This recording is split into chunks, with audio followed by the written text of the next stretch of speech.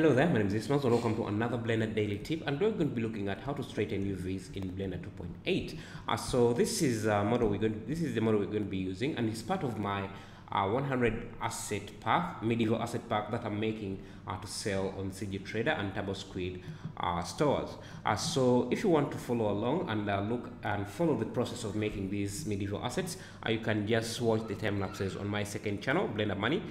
that's where I'll be uploading all the time lapses of making these uh, assets. Uh, maybe you can learn a few things uh, from there. And the complicated things that I think needs to be explaining I'll be explaining them uh, in videos like this uh, to upload on top channel 101 so what we're going to be looking at today is UV unwrapping this asset here and straightening the the UVs so we're not going to unwrap the entire thing. We're just going to uh, I'm just going to show you how to straighten uh, UVs here. So, uh, the UVs I want to straighten are for this mesh here. So, I've made a duplicate of this so that I don't mess up this.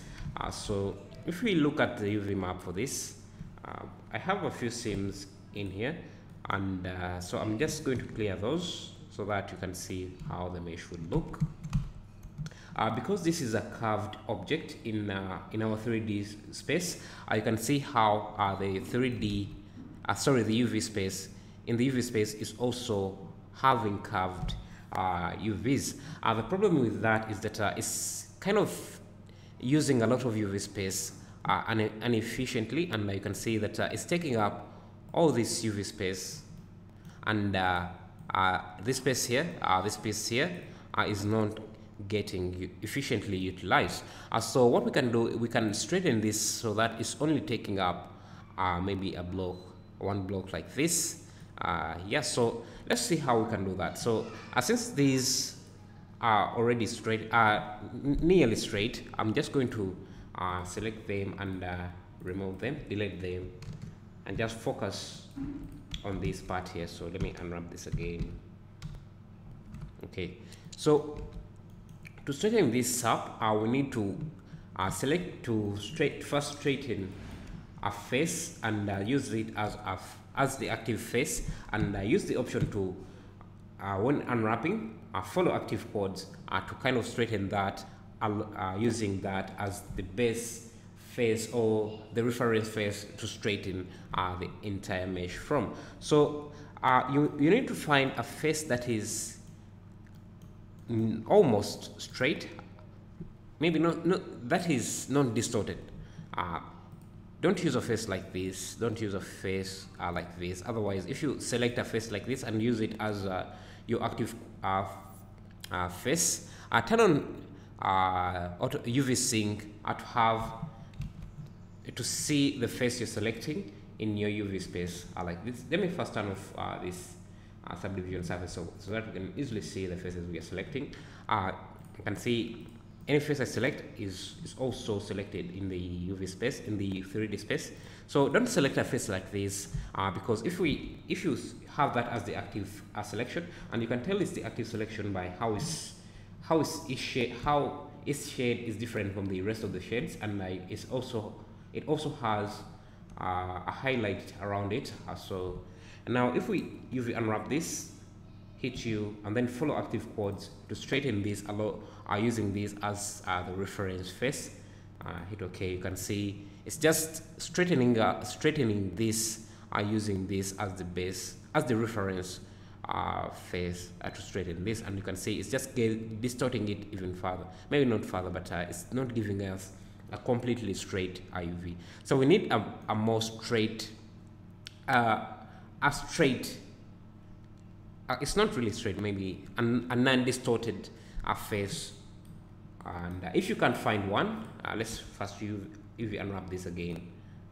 If you can't find one, you would need to straighten uh, the face yourself. So uh, find something that is not too distorted like this face here and you can see it in the UV space it's not too distorted so we can start straightening it up in the UV space as well. Uh, so I'll just select these top vertices. Uh, let me turn off UV sync here for a second. Uh, so I'll select uh, these vertices straighten them by scaling them in the y-axis by zero or just select the vertices and then right click uh, then align uh, y and then select this and this align x align x. Uh, there is an option to straighten uh, but uh, for some reason it doesn't work so I'll just switch uh, I just use uh, the align axis. So then you can select the face. Again you can use you can use UV sync just to make sure that uh, you have the same face selected in your uh, 3D space. Uh, after that, make sure you don't have this UV uh, sync selected when you start uh, unwrapping because it will separate this selected face into its own separate UV island and we don't want that. So after we straighten this, you can hit U and then follow active quad and you can see now we have uh, that straightened uh, but uh, the problem is is the problem we are getting now is that uh, yeah yes this is straight and it's taking up less UV space uh, but uh, in terms of texture resolution it's taking up too small very little UV space so this this space here would not be enough to kind of give us a, a a highly detailed uh, texture for this uh, image here. So we need to make to make to scale this up a bit. But uh, the problem is when we scale this, uh, you, you see that uh, uh, the UV space is starting to the the UV island is starting to go outside the UV space that is bounded by this box here, grid box here. so what we can do is mark a seam like around here uh, but uh, make sure if you're doing, if you're marking a seam here, um, make sure that uh, you don't have live UV unwrap turned on because that will just uh, re-unwrap the entire thing and you'll have to redo uh, the process again.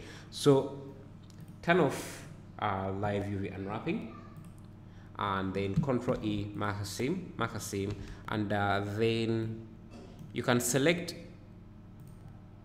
any of the faces so we know that uh, I've marked the seam right here and I, I'll also turn on UV sync so that I can see uh, the face uh, of uh, the seam I've selected. so I want to select a face, two faces. Uh, so I, I, know that uh, since I've marked the seam on this, separating these into two UV islands, so this will be an island and this will be an island let me just show you what I mean here. So since I marked the same here, it has separated this into islands. So let me un undo this because I don't want to redo the uh, straightening again. So now I want to select two faces, one from this island and one from this island, and then pin them uh, so that they retain uh, that straight UV uh, uh, shape and uh, then I can unwrap again uh, so that these are two separate islands and now I can separate, I can straighten, restraighten uh, these UVs uh, using the, the faces that I, I pinned. So pinning just retains uh, the shape, uh, just yeah, it does exactly what it says. It pins uh, the face you have pinned uh, in the UV island so that when you UV unwrap, it doesn't change that face. And you can see it has retained the straightened uh, face. So we can select this and uh, Control L. Uh, let me turn on UV sync so that it doesn't uh, separate this as an island. So Control L. Uh, make sure you have the straightened face as your active face. I'm sure I do because you can test that in your UV island. And when you have sync on, then Control L and then we can restraighten these with follow active uh, code uh, quads. And now you can see we have a separate island uh, that we can move around and uh, efficiently use uh, the text space. Uh, so again have this selected as your active have the pinned face as your active active face or active quad and then Control L to select the entire island, unwrap, follow active quad. and you can see now we have uh, those straightened. So then we can move this around. So I'll unpin this control uh, alt P to unpin. Select everything and now I can uh, move them maybe scale them down a bit and I know now this is a this would be a better usage of the UV space and also while providing uh, enough resolution or enough texture space uh, for this uh, object here to have a good texture resolution. Uh, so yeah uh, thank you for watching. Uh, again if you want to follow to see the, the entire process of making this asset and more other medieval assets that I'll be making for for my medieval asset pack uh, you can just go and subscribe to this second channel and uh, watch uh, the, the time lapses there. Uh, thank you for watching. See you in the next video